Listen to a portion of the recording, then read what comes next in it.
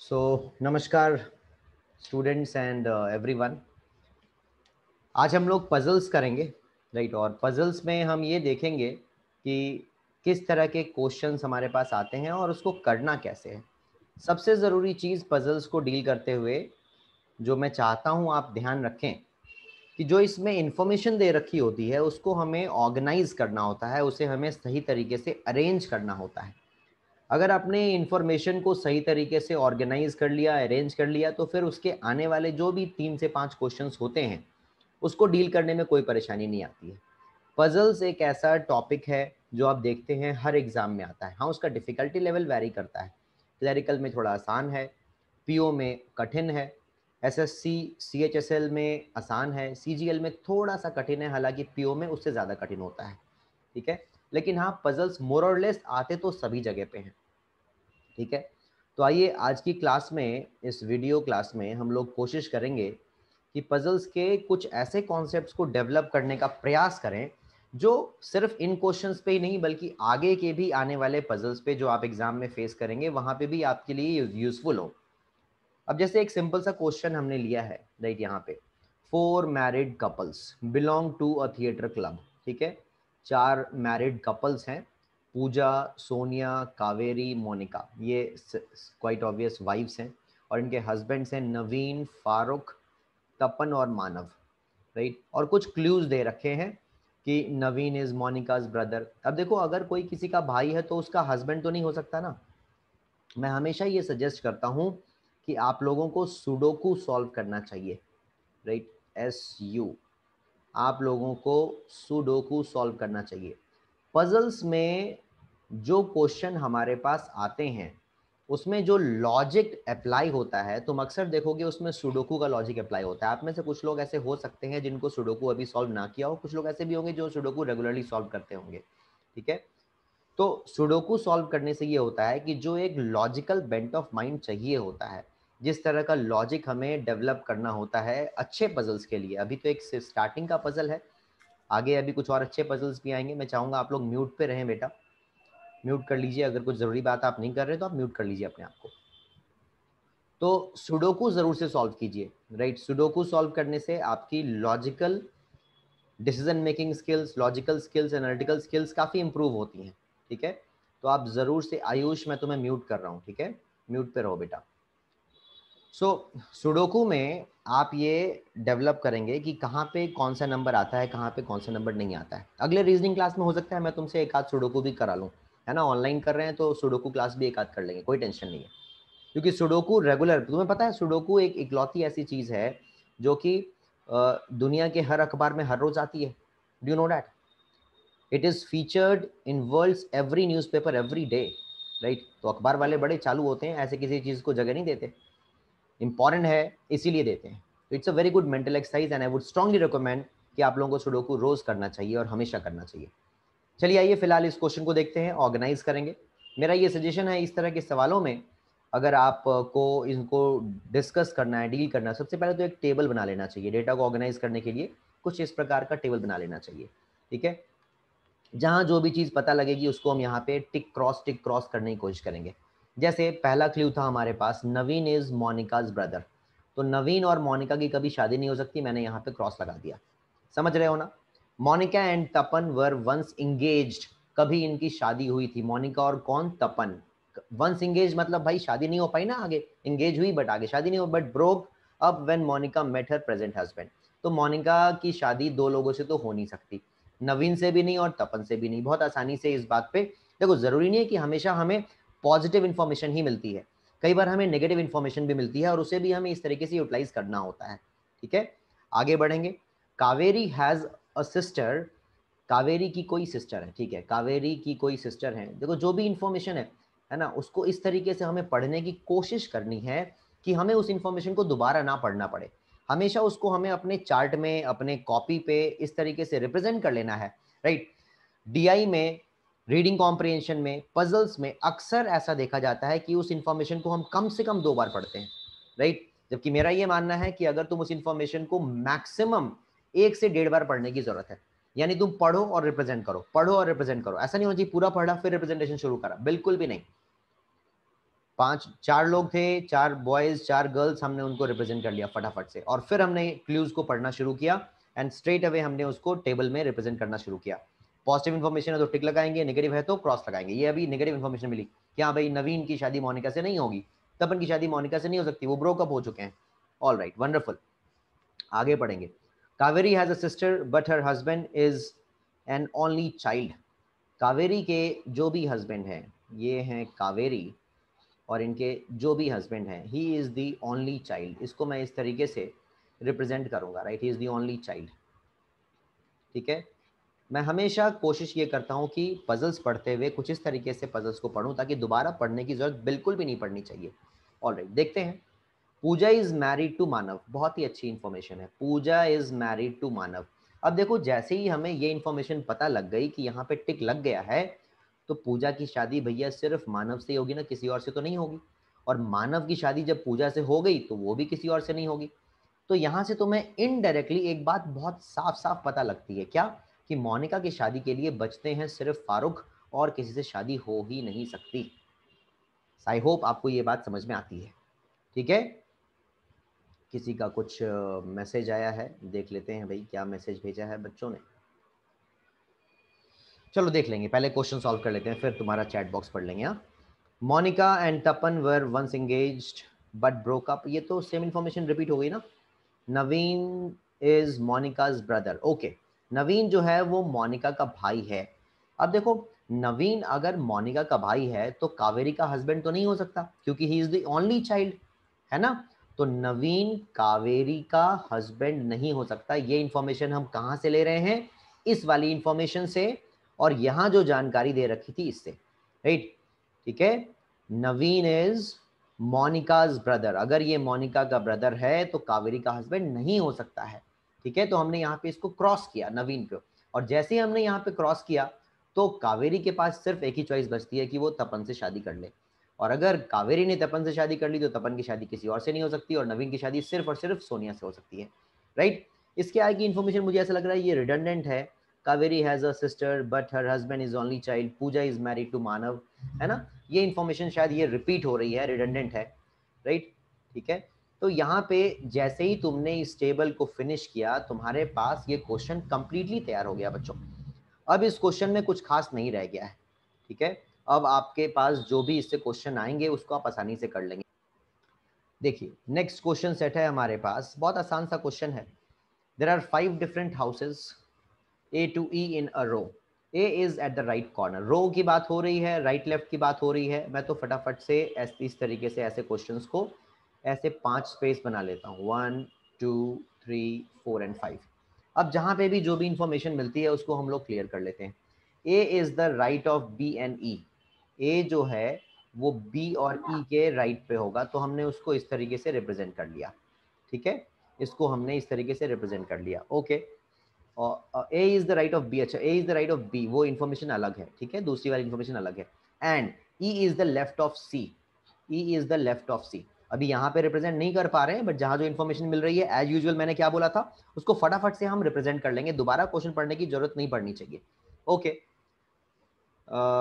E is the left of C बहुत बढ़िया। And the right of A and the right of A E के बारे में बात हो रही है ना? Okay B is the right of D B is the right of D B जो है, वो डी के राइट right साइड पे है, बहुत बढ़िया। Which of the houses is in the middle अब इसे हमें रिप्रेजेंट करना है, लेके चलना है, कैसे हो सकता है। तो देखते हैं, आओ चलो। तो ए और बी की सिग्निफिकेंस इस तरीके से है राइट ए जो है, वो बी के लेफ़्ट में था। तो अगर मैं इसको क्लब करूँ तो ये बी आ जाएगा और ये डी आ जाएगा। यानी ये आपके पास कुछ कॉन्फ़िगरेशन बन के आती है डी बी ए ई सी अब अगर बोला गया मिडिल में कौन है तो बहुत ही आसान सा क्वेश्चन था और इसका आंसर ए हो जाएगा। मुझे उम्मीद है, किसी को भी कोई डाउट नहीं है इस क्वेश्चन में। बहुत ही आसान क्वेश्चन निकला ये तो। ओके नेक्स्ट क्वेश्चन की तरफ़ बढ़ूँगा बिना पूछे हुए कि तुम्हें समझ में आया कि नहीं मैं नेक्स्ट क्वेश्चन की तरफ़ बढ़ रहा हूँ। कोई डाउट है तो बेशक आप चैट बॉक्स में डालिए बताइए। नेक्स्ट क्वेश्चन हमारे पास है राइट अगर कोई डाउट है तो चैट बॉक्स में डाल देना। I look into the chat box कोई टेंशन नहीं है। चैट हाँ, बॉक्स में कुछ है चलो एक बार पढ़। और सिक्स uh, फ्रेंड्स जो ये देखो जो इजी क्वेश्चन है मैं थोड़ा ज़्यादा फास्ट मूव कर रहा हूँ इंटेंशनली जो अच्छे क्वेश्चन होंगे, उसमें थोड़ा इन्वेस्ट कर लेंगे, है ना? ये आसान है तो मुझे लग रहा है, ये आसानी से आप सब लोग समझ रहे हैं okay A B C D E F are sitting in a close circle facing the centre कभी भी अगर सेंटर सर्कल का क्वेश्चन आता है, और अगर छह लोग हैं हमारे पास ऑड नंबर ऑफ़ लोग हैं जो किसी का माइक ऑन है बेटा ऑफ़ कर लो। रोहित कुमार माइक ऑफ़ करो बेटा। तो छह लोग हैं तो मैं तो सीधे सीधे इसमें तीन लाइनें बना लेता हूँ। तीन लाइनें बनाने से क्या होता है? छः मेरे पास जगह क्रिएट हो जाती है। और कहीं अगर गलती से कोई मुझे स्टेटमेंट मिल जाती है कि डायग्राम डायमेट्रिकली अपोजिट तो मैं किसी भी लाइन के अक्रॉस उनको बिठा दूँगा। सब लोग सेंटर की तरफ़ देख रहे हैं। आजकल जो अच्छे क्वेश्चन आते हैं, उसमें कुछ लोग सेंटर की तरफ़ देखते हैं, कुछ लोग बाहर की तरफ़ भी देखते हैं। लेकिन फ़िलहाल ये थोड़ा आसान क्वेश्चन है। और अगर सेंटर की तरफ़ देख रहे हैं तो हमें यहाँ पे कुछ बातें ध्यान रखनी है कि अगर हम क्लॉकवाइज मूव करेंगे क्लॉकवाइज जैसे कि घड़ी की सुई घूमती है तो हम लोग हमेशा किस दिशा में जाएँगे?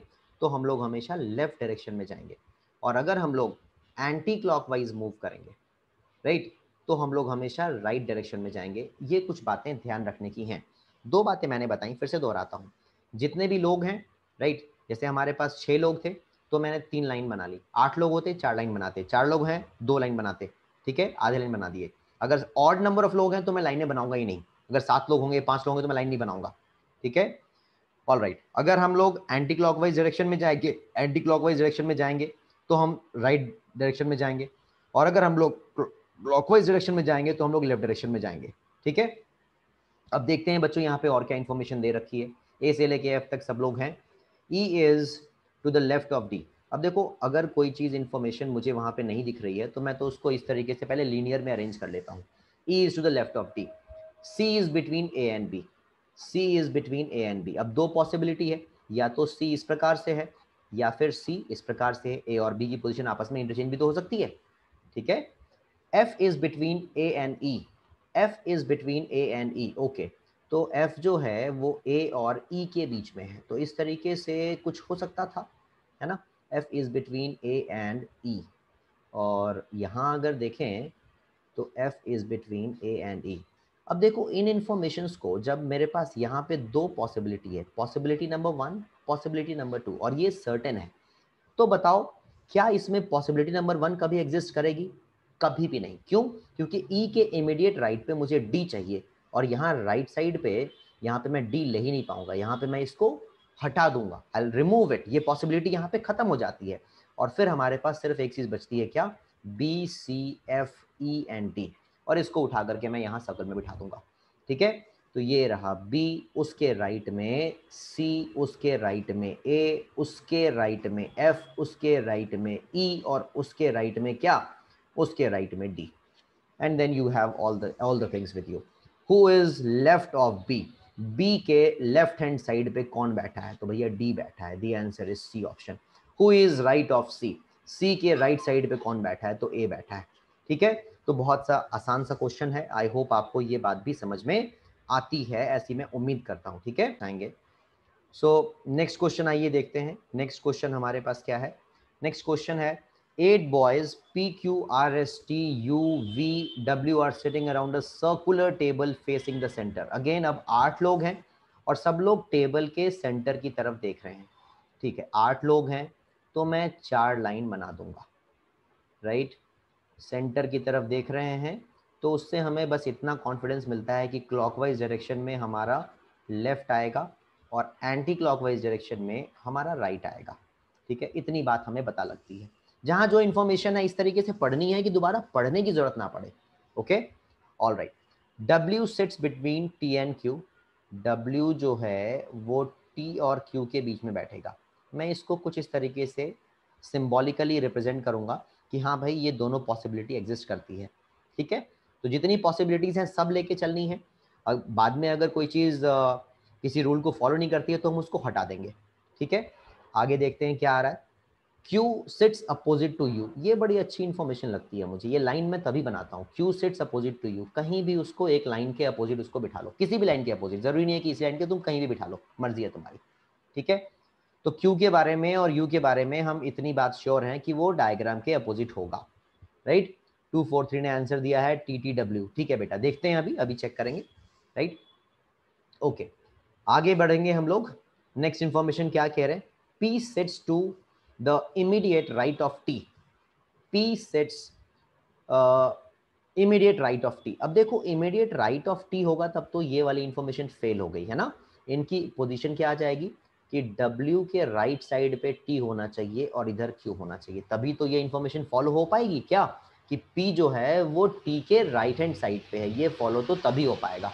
ठीक है? तो जब तक किसी भी चीज़ को हम लोग कोई भी स्टेटमेंट प्रीवियस इंफॉर्मेशन को डिसओबे ना करे, तब तक आप उसको जो है कैरी फॉरवर्ड करके रखेंगे, ध्यान से उसको रखेंगे। ओके आगे बढ़ते हैं, देखते हैं क्या है। एंड अपोजिट टू आर कौन? पी पी जो है, वो किसके अपोजिट है? आर के अपोजिट है। तो ठीक है, अभी मैं इसको सर्कल में रिप्रेजेंट नहीं कर रहा हूँ तो मैं अपने सिंबॉलिकली ऐसे रिप्रेजेंट कर ले रहा हूँ कि पी और आर डायमेट्रिकली अपोजिट बैठेंगे। All right S does not sit next to R यानी कि एस और आर जो हैं, ये साथ में नहीं बैठेंगे। ठीक है, मैंने इस तरीके से रिप्रेजेंट किया। अब देखते हैं इस इंफॉर्मेशन को ओवरऑल हम कैसे रिप्रेजेंट करेंगे। तो मैंने सबसे पहले ये देखा कि क्यू के राइट हैंड साइड पे डब्ल्यू आएगा। इसके राइट हैंड साइड पे टी आएगा और इसके राइट हैंड साइड पे पी आएगा। तो इतनी बातें तो यहाँ से क्लियर है ना? राइट एक और इन्फॉर्मेशन हमें क्या मालूम है कि पी के अपोजिट आर है। बहुत बढ़िया, ये रहा पी पी के अपोजिट आर और आखिरी इंफॉर्मेशन हमारे पास ये थी कि आर का नेबर एस नहीं है। बहुत बढ़िया मतलब एस यहाँ पे नहीं आएगा तो कहाँ आएगा? सिर्फ़ यहाँ आ सकता है। बचा कौन? W everything is absolutely fine now right आसान क्वेश्चन है, बहुत ज़्यादा खुश होने की ज़रूरत नहीं है हमें। है ना, ये लेवल थोड़ा आसान ही रखा गया intentionally right I told you the last set is really good वो थोड़ा एग्ज़ाम लेवल पे है पीओ लेवल पे है, ठीक है? और चलो देखते हैं, फ़िलहाल आंसर्स करेंगे जल्दी से। Who sits opposite to V V के अपोजिट कौन बैठा है? वी कहाँ गया? अरे वी कहाँ चला गया भाई? यहाँ पे वी होना चाहिए था ना डब्ल्यू यहाँ पहले से आ गया था, यहाँ मैंने डब्ल्यू गलत लिख दिया वी होना चाहिए था right this should be V तो वी के अपोजिट कौन है? वी के अपोजिट टी है T D option who sits two places left of S S के लेफ़्ट हैंड साइड पे टू प्लेसेस लेफ़्ट मतलब क्लॉकवाइज तो one two two places left of S क्या बोलोगे? पी ठीक है? Who sits two places left of S तो left of S मैं यहाँ से कहाँ जाऊँगा टू प्लेसेस पे? मैं पी पे पहुंचूँगा तो answer is P if s and q interchange their places, who sits opposite to q? Okay. तो अपोजिट टू क्यू तो जो एस के अपोजिट है वो क्यू के अपोजिट हो जाएगा तो एस के अपोजिट क्या है? डब्ल्यू है तो डब्ल्यू हो जाएगा ना right so the answer should be D A A D A A check करें क्या आंसर दिया आप लोगों ने राइट आइए पहले वीडियो पॉज करते हैं और फिर चेक करते हैं किस लेट्स डू दिस सो यहाँ पे क्या है हमारे पास क्वेश्चन में? हमारे पास क्वेश्चन क्या दे रखा है? Six person A B C D E F are sitting in two rows three in each row E is not at the end of any row ठीक है? दो रो में है तो ये मैंने दो रो बना लिए, ठीक है? दो रो मैंने इस तरीके से बना लिए, तीन तीन के दो रो बना लिए। अब E is not at any end of the row ठीक है? तो मैं यहाँ पे बस ये सिंबॉलिकली बना लेता हूँ कि ई e जो है वो किसी भी एंड पे नहीं आएगा, ऐसा लिख लेता हूँ ताकि मुझे दोबारा ना पढ़ना पड़े, ठीक है? D is the second to the left of F अच्छा भाई D is second to the left of F कुछ ऐसा होगा। मतलब एक चीज़ तो ये है कि ये डी और एफ़ एक ही रो में होंगे और ये लेफ़्ट पे होगा, इसका मतलब ये दोनों दो एक्सट्रीम्स पे होंगे बिकॉज़ तीन ही लोग हैं और सेकेंड नंबर पे है मतलब बीच में कोई तो आएगा, है ना? तो I hope we understand it all right आगे देखेंगे। F is the D is the second to the left of F उसके बाद C is the neighbour of E C is the neighbour of E यानी C और ई same direction में होंगे कहाँ पे होंगे पता नहीं राइट right, इस तरफ़ है या इस तरफ़ है फ़िलहाल मैं इनको एक सर्कल में ले रहा हूँ। ये एक सर्कल में है और ये एक सर्कल में यहाँ से एक बात और भी समझ में आती है बेटा कि डी और एफ़ के साथ कोई एक ही आ सकता है तो सी और ई तो नहीं आएँगे मतलब ये लोग अपोजिट साइड ही होंगे ठीक है? तो मैं इसको यहाँ बिठाता हूँ डी और एफ़ को। यहाँ बीच में कौन आएगा? अभी फ़िलहाल हमें नहीं पता। सी और ई इसके अपोजिट साइड होंगे, पता है। कहाँ पे होंगे? ये पोजीशन अभी नहीं पता है। कोई बात नहीं, आगे बढ़ के देखते हैं। आगे क्या बोला? C is the neighbour of E and sitting diagonally opposite to D बहुत बढ़िया। सी जो है, वो डी के डायगनली अपोजिट है। यानी सी की पोजीशन तो फिक्स हो गई। सी अपने पास आ गया। ठीक है? और क्या कह रहे हैं? B is the neighbour of F B is the neighbour of F यानी बी यहाँ पे आएगा। और सी और e क्या थे? सी और e नेबर थे तो सी अगर यहाँ पे है तो e का यहाँ पे आना तय हो गया। और कौन रह गया? ए रह गया। तो ए को जो बची हुई जगह रह गई, यहाँ बिठा दीजिए।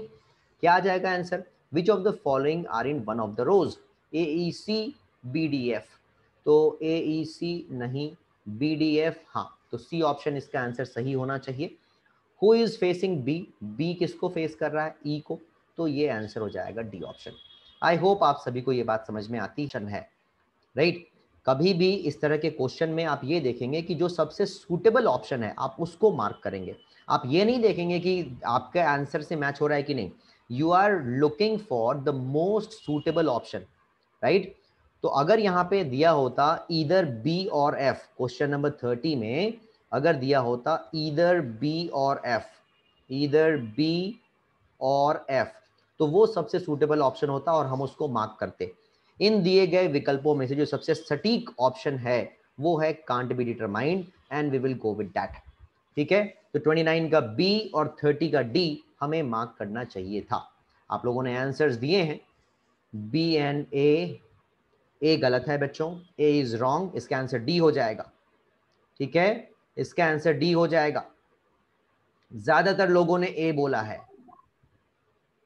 डी होना चाहिए, ठीक है? कोई डाउट है तो पूछ लो बेटा। कोई अगर इस क्वेश्चन में डाउट है, आप पूछ लीजिए।